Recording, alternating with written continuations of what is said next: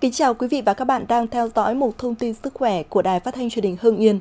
Thưa quý vị và các bạn, chảy máu chân răng là tình trạng thường gặp trong số các vấn đề về răng miệng.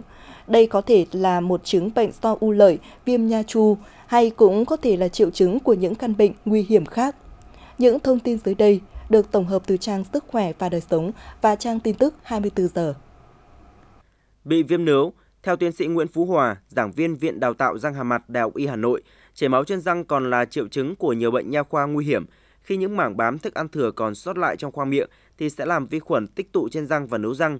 Về lâu dài, chúng có thể dẫn đến hiện tượng viêm nướu và gây chảy máu khi bạn chảy răng quá mạnh. Bởi vì chúng không đau và không có những biểu hiện cụ thể nên bạn thường bỏ qua. Nhưng nếu tình trạng ngày càng nghiêm trọng thì có thể dẫn đến bệnh viêm nha chu, một hiện tượng phá hủy mô nướu vô cùng nguy hiểm. Viêm nướu có thể ngăn ngừa và điều trị dứt điểm nếu bạn sớm phát hiện, vệ sinh răng miệng sạch sẽ, đánh răng thường xuyên và dùng chỉ nha khoa để loại bỏ mảng bám răng. Ngoài ra bạn hãy khám răng thường xuyên nếu xuất hiện tình trạng chảy máu khi chảy răng.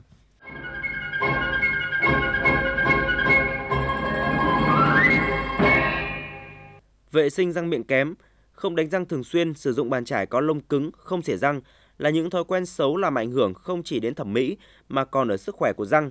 Nếu răng là một mô khá mềm, nếu dùng bàn chải quá cứng có thể làm tổn thương và khiến chúng sưng lên chảy máu. Bên cạnh đó, nguyên nhân hàng đầu của viêm nướu là sự tích tụ mảng bám từ vụn thức ăn khiến vi khuẩn hình thành. Do đó, lời khuyên dành cho bạn là hãy chọn loại bàn chải có lông tơ mềm, đánh răng 3 lần trên ngày và nếu được, hãy xúc miệng sau khi ăn để loại bỏ những thức ăn dính trên răng ngay lập tức.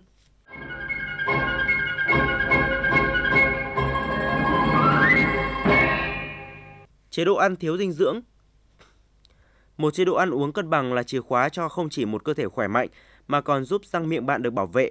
Chảy máu chân răng phần lớn bắt nguồn từ việc thiếu hụt vitamin C, vitamin K. Đây là những loại vitamin cần thiết cho việc đông máu. Bên cạnh đó, canxi và magie là những chất chống viêm giúp cho nướu răng được khỏe mạnh và phòng tránh những tình trạng viêm nhiễm do thức ăn còn sót lại. Hãy bổ sung các loại thực phẩm chứa nhiều vitamin C như cam, bưởi, chanh để ngăn ngừa tình trạng chảy máu chân răng không đáng có.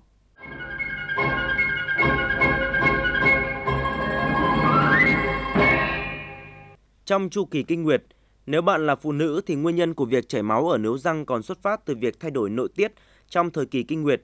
Những người bị viêm niệu đạo hormone trong chu kỳ hàng tháng có nguy cơ phát triển viêm nướu hoặc viêm nha chu.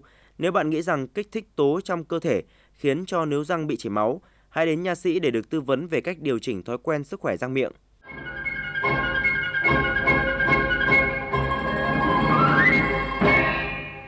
Sử dụng một loại thuốc có ảnh hưởng đến răng – có hơn 400 loại thuốc có thể ảnh hưởng đến vấn đề răng miệng, bao gồm thuốc kháng histamine, thuốc an thần, thuốc chống trầm cảm và thuốc chống tâm thần.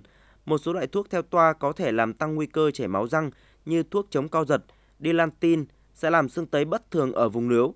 Thêm vào đó, những loại thuốc huyết áp và thuốc ức chế miễn dịch cũng có thể gây viêm nướu và chảy máu. Và một số loại thuốc chữa bệnh khác có thể khiến bạn bị khô miệng, ảnh hưởng đến lượng nước bọt tiết ra trong miệng để trung hòa các axit béo, tiêu diệt vi khuẩn trong răng.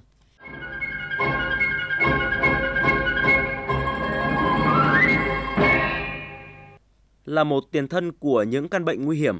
Bệnh về máu, bệnh gan, bệnh tiểu đường có thể là các nguyên nhân gây chảy máu nếu răng. Nếu không điều trị nghiêm túc, bệnh có thể càng nặng và gây ra những hậu quả khó lường.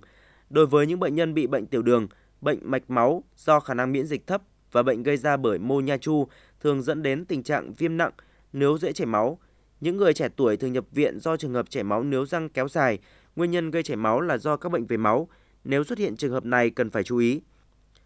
Đặc biệt, chảy máu nếu răng là biểu hiện đáng báo động của cơ thể đang mắc một số bệnh bao gồm bệnh về máu như thiếu máu ác tính, bệnh bạch cầu và bệnh gan nặng. Vì vậy, khi gặp trường hợp trên, hãy đến bệnh viện để kiểm tra. Quý vị và các bạn thân mến, chương trình ngày mai sẽ là những thông tin hữu ích về căn bệnh polyp đại tràng.